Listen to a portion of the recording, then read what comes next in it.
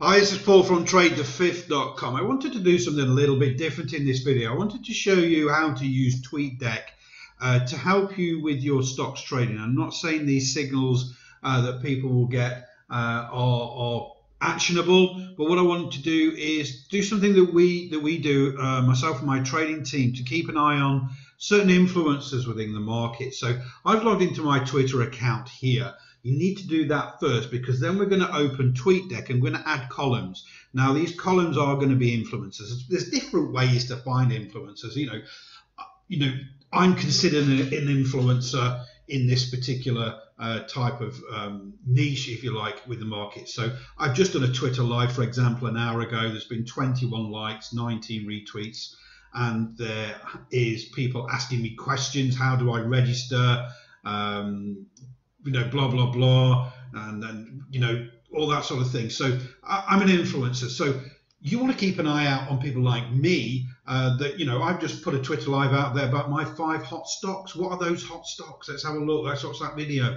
I did one uh, last week on Microsoft for a breakout indicate for a breakout, and it broke out. I've done a couple of recently uh, Twitter lives on Box, on Marriott. Those were massive winners. So you need to be uh, filtering out those uh, people that are going to give you some good tips that you can follow up on and do your own analysis. So in TweetDeck here, at the moment, you'll see I've got Mr. Trump because sometimes he'll say certain things that'll move markets. It's always good to to see uh, what's going off there, uh, especially around certain data points um, US industry data points, that sort of thing. Uh, what Mr. Trump's saying, because that might make you stay away from day trading that day, for example, depending on what's put it out.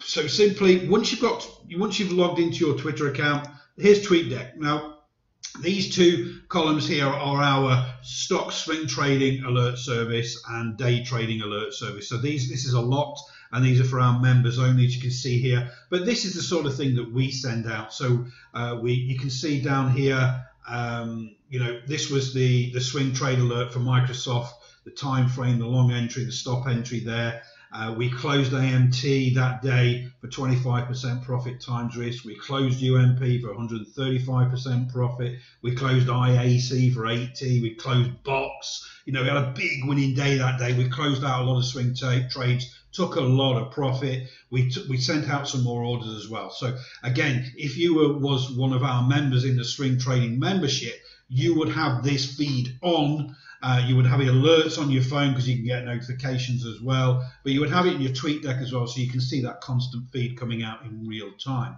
Now, obviously, I you know I'm an influencer. If this was your Twitter account, you would go to add a column here. You'd add a user, and you would have me at P Bratby official there, and you would add a column. So that's basically that's me. Uh, for example, what I'm tweeting out, uh, whether I've got um, you know um, that sort of thing. Um, to you know if I'm sending out a, a, Twitter live or anything like that, that's my uh, timeline if you like. So then how do we find other influencers? So if you're into stocks trading, go to hashtag stocks.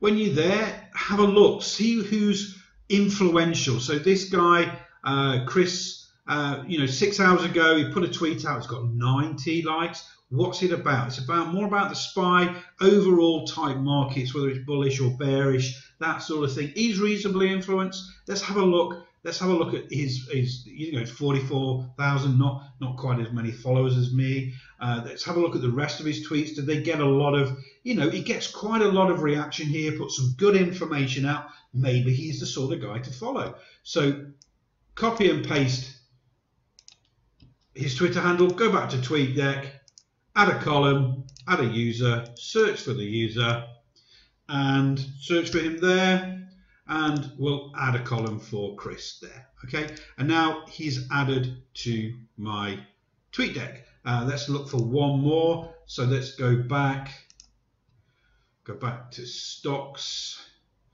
Uh, I like this guy, Mystery Trader. He puts a lot of decent charts out. Uh, and he's not just there. If we go to his timeline here, you know, I don't know this guy, don't know nothing about him, But what I do see is he's putting a lot of chart, a lot of analysis in there, lots of different things, whether it's gold, uh, stocks, SPX, that sort of thing. A lot of people are interacting with there. He's got some good comments. I think you know he's a pretty he's a pretty decent guy.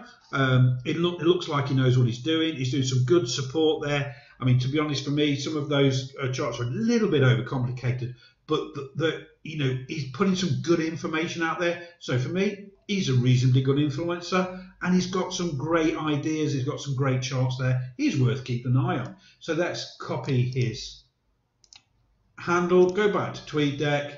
I'm going to add another column. I want to use it. I want to search for this mystery trader, and I want to add a column there. So it's that simple. What you want to do is build your tweet deck out with a few influencers. So if you're if you're a futures day trader, go and look for those influencers there. Use the hashtag uh, day trading or uh, the hashtag ES underscore F or whatever you trade. Try and find those that are putting out good charts, good analysis. Uh, and you know, if you're a stocks trader, you're a swing trader. You know, my preferred uh, strategy is swing trading stocks. You want an overall oversight of the market. What's going off overall? Um, you know, so just you know, this guy's just um, just made a comment on this, for example. You know, there's a lot of people commenting on this. There's a lot of this perspective that, that this guy's done. Uh, uh, on uh, SPX and SPY. So, you know, this guy's quite good. He's given an overall view of the market, a good thing to, to keep an eye on. Uh, and again, this mystery trader, you know, I've interacted with him a few times. He's got some good points there. And so, uh, you know, I, I don't know him, but I think uh, he does quite a good job. So I've added him there. So I just wanted to make this quick video to see that there are other influencers out there to to build up your tweet deck, just to have it running in the background so you can understand what other people are thinking about the market because sometimes traders become very insular and they become the experts in their own head. Um, but you need to understand what's going off outside. What are the macro influences? You know, what's Mr. Trump doing? Because he influences the market quite a lot just lately.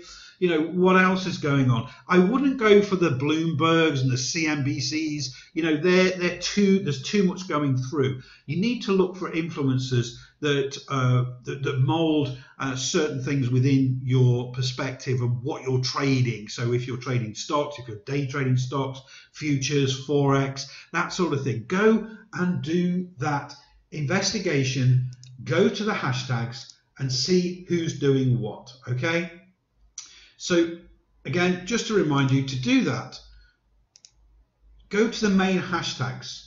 Go to, uh, for example, if you're Forex trading, go to hashtag Forex. Okay, see what the top tweets are. I mean, these guys, you know, some of these are, are quite influential.